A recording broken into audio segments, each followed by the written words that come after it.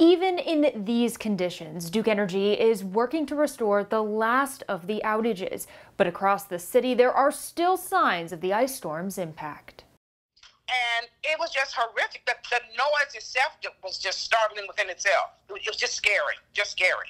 It's a sound Brenda White won't soon forget the crash of a tall tree uprooted in the middle of Saturday's ice storm. Looking out her dining room window at the branches and limbs covering the road, her daughter reminded her of how lucky she really was. I talked to my daughter and I sent her the pictures as well.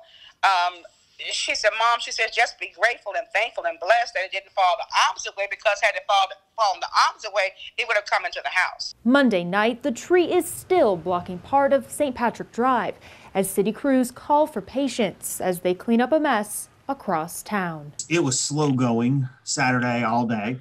Um, obviously, we knew people were without power, and and you know people want electricity, they want heat when it's cold outside, but we can't touch the trees that have power lines through them. So that's why there may have been a delay in certain locations. Chris Marriott with Greensboro's field operations team says they'll be picking up the debris for the next couple of weeks and preparing for more potential damage. With all the rain we're having, you know, since the ice storm, you know, since Saturday, we've been having rain pretty much constantly.